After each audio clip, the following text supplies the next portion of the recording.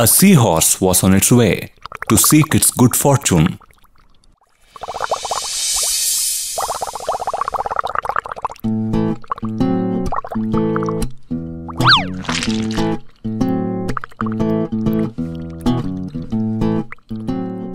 After a while on the road, it met an eel.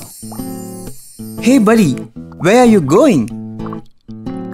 I'm on my way to seek my good fortune. Cool. Now if you want, I can sell you this fin. You will be even faster with this. That would be good. I'll have it. After the seahorse had paid for the fin, it put on the fin and started off with twice the speed.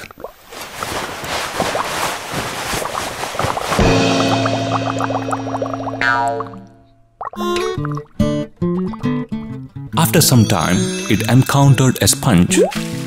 Hey, where are you going? I'm on my way to seek my good fortune. I have this amazing motorboat which I could sell you for cheap. With this, you will be five times faster. After the seahorse had paid for the motorboat, it started off even faster. Then it encountered a shark. Hey, you there, where are you going? The seahorse told him its story If you want, you can take this shortcut.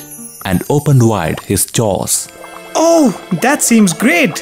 The seahorse swam into the open jaws and was never seen by anyone again. Remember, do not get diverted from your path by so called attractive offers.